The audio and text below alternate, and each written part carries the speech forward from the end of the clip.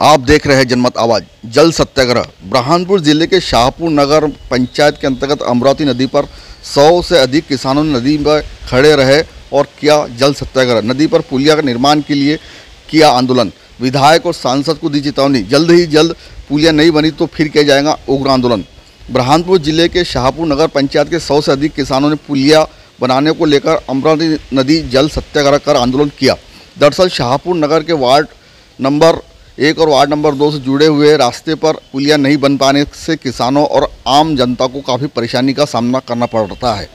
आए दिन नदी का पानी पार कर जाना पड़ता है, जिससे कभी भी कोई बड़ा हादसा होने की संभावना बनी रहती है। अब किसानों ने परेशान होकर विधायक अर्चना जेटली सांसद ज्ञानेश्वर पाटिल और मुख्यमंत्री मोहन यादव से मांग की कि यह की पुलिया जल्द से जल्द बनाई जाए। बारिश के दिनों में जब नदी को पानी आता है तो नदी का आसपास की खेतों में लगी फ़सलें खराब हो जाती है। सड़ जाती है। इस रास्ते से करीब दो, ढाई सौ तीन सौ किसानों की खेती है और वही यहाँ पास में शमशान भूमि है। पुलिया और रोड रोड नहीं होने से नगर वासियों को काफ़ी मुश्किलों का सामना करना पड़ रहा है। अमरावती नदी पर नदी ज़्यादा पानी रहा तो करीब छः किलोमीटर घूमकर शाहपुर शाहपुर पहुँचना पड़ता और किसानों ने कहा, जल्द से जल्द पुलिया नहीं बनाई तो हम सभी उग्र आंदोलन करेंगे। आइए चैनल को लाइक और सब्सक्राइब अवश्य करें ताकि आपको अपडेट मिलते रहे। जा रहा है कि कम से कम 250 से 300 किसान है इधर से।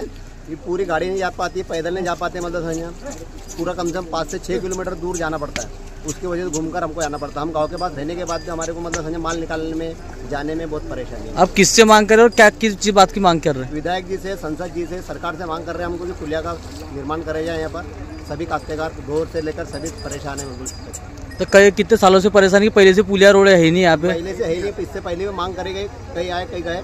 अभी इससे पहले कुछ नहीं हुआ मतलब तो फिर अभी कौन से रोड कौन से रोड से वापर होता है? फिर कुछ बखारी तरफ़ से जाते हैं हम कम से कम छः किलोमीटर से घूम के जाते हैं बखारी रोड अगर ये समस्या का निराकरण नहीं हुआ तो क्या पूरा आंदोलन करेंगे मतलब मतलब अगला कदम आपका आंदोलन का रहेगा। क्या नाम है आपका? मेरा नाम अजमल आंदोलन इसलिए हो रहा है कि ये पुलिया निर्माण हो जाए यहाँ पे रोड बन जाए आने जाने के लिए व्यवस्था हो जाए बहुत परेशानी जाती है बारिश की। तो कई कितने सालों से परेशानी आ रही है? बहुत पच्चीस तीस सालों से बनाई पे कुछ भी नहीं बना है इसलिए लोग इधर से रहे हैं तो आपके तरफ़ से जाना पड़ रहा है पानी के कारण। अगर तो बहुत अच्छा हो जाएगा। अब पुलिया नहीं बनती तो अगला कदम क्या रहेगा किसानों का?